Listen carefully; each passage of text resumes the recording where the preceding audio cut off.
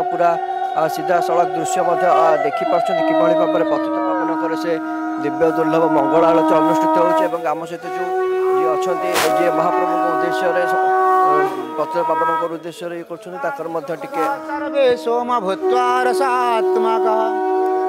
अहम वैश्या नरो भूत्वा प्राणीना देहमाश्रिता प्राणपानं समायुक्ता पचाम्यनं चतुर्विधम्।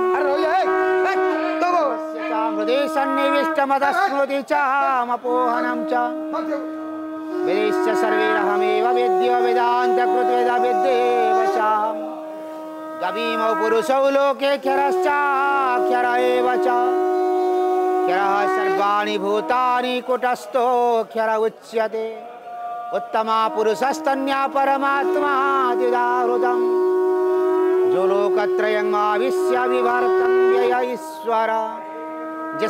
क्षरमतोऽपि क्षरदापि चोत्तमा।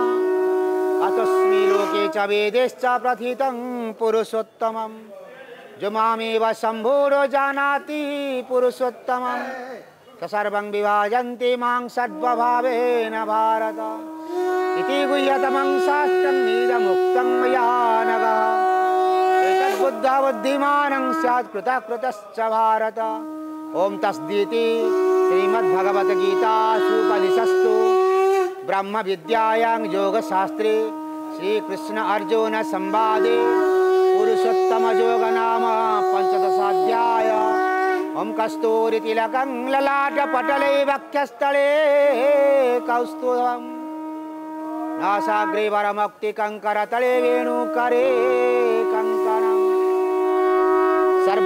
हरिचन्दनं सुललितं कण्ठे च मुक्तावळि गोपस्त्री परिवेष्टित विजयन्ते गोपाल हरि ओम नारायणाय नमः ओम श्री जगन्नाथाय नमः श्री जगन्नाथाय नमः श्री जगन्नाथाय नमः ଭାବରେ ଆପଣ ପୁରା ଦୃଶ୍ୟ ଦେଖୁଥିଲେ ସିଧା ଦେଖାଉଥିଲୁ ଆମେ ସିଧାସଳଖ ଦୃଶ୍ୟ କିଭଳି ଭାବରେ ପତିତ ପାବନଙ୍କର ଦିବ୍ୟ ଦୁର୍ଲଭ ମଙ୍ଗଳ ଆଳତି ବର୍ତ୍ତମାନ କିଛି ସମୟ ପୂର୍ବରୁ ଶେଷ ହୋଇଛି ଏବଂ ପୁରା ଇଏ ଦୃଶ୍ୟ ତମାମ ଦୃଶ୍ୟ ଶ୍ରୀକ୍ଷେତ୍ରରୁ ଆମେ ଆପଣଙ୍କୁ ଦେଖାଉଥିଲୁ କିଭଳି ଆଧ୍ୟାତ୍ମିକ ପରିବେଶ ବର୍ତ୍ତମାନ ଶ୍ରୀମନ୍ଦିର ସିଂହଦ୍ୱାର ନିକଟରେ ଖେଳି ଯାଇଛି ଏବଂ ପତିତ ପାବନଙ୍କର ସେ ଦିବ୍ୟ ଆଳତିକୁ ଟିକେ ଦେଖିବା ପାଇଁ ଶ୍ରୀମନ୍ଦିର ସିଂହଦ୍ୱାର ସମ୍ମୁଖରେ ତ ହଜାର ହଜାର ଭକ୍ତଙ୍କର ଭିଡ଼ ଜମିଥିଲା କିନ୍ତୁ ଶ୍ରୀମନ୍ଦିର ସିଂହଦ୍ୱାର ବାହାର ବ୍ୟାରିକେଡ୍ରେ ମଧ୍ୟ ଅନେକ ଭକ୍ତ ଶ୍ରଦ୍ଧାଳୁ ପତିତ ପାବନଙ୍କର ଏ ମଙ୍ଗଳ ଆଳତି ଦେଖିବାର ଅ, ସୁଯୋଗ ପାଇଛନ୍ତି। ଇଏ ପୁରା କହିପାରିବା ପ୍ରତ୍ୟେକ ଦିନ ପତିତ ପାବନଙ୍କର ସେ ମଙ୍ଗଳ ଆଳତି ଦେଖିବାକୁ ଶ୍ରୀକ୍ଷେତ୍ରରେ ହଜାର ହଜାର ସଂଖ୍ୟାରେ ଭକ୍ତ ଶ୍ରଦ୍ଧାଳୁମାନଙ୍କ ଭିଡ଼ ଜମିଥାଏ। ଶ୍ରୀମନ୍ଦିର